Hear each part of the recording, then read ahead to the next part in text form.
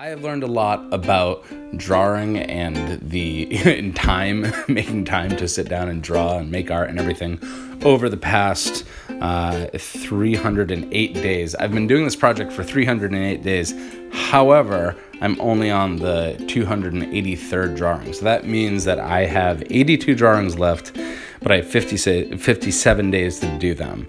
Uh, I, I, thought it would kind of turn out this way. I, I knew when I first started out, maybe like a couple weeks in, that there was no way I was going to be able to draw every single day. Just life happens. Life totally happens. And at first, it was kind of disheartening that like, oh man, it, like I'm not going to have enough time to actually do this.